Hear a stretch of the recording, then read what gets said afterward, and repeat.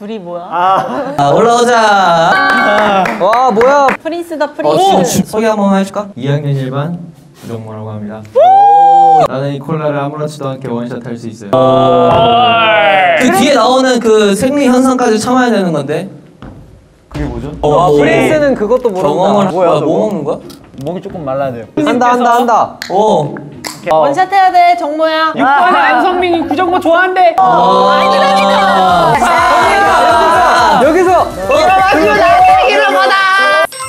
안성민.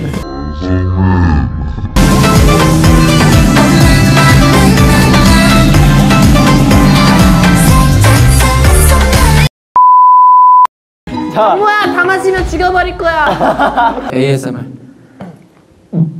어, 아니 수도 없고 ASMR 하는 사람이 왜 있어?